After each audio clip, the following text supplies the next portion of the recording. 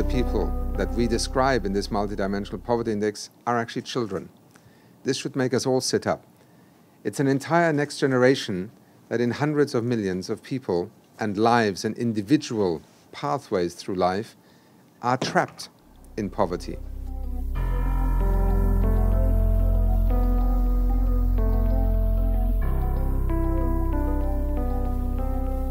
Hundreds of millions of people have escaped poverty, and this is not an accident of history. It is as a result of deliberate, designed policies and programs that have enabled countries to do remarkable things.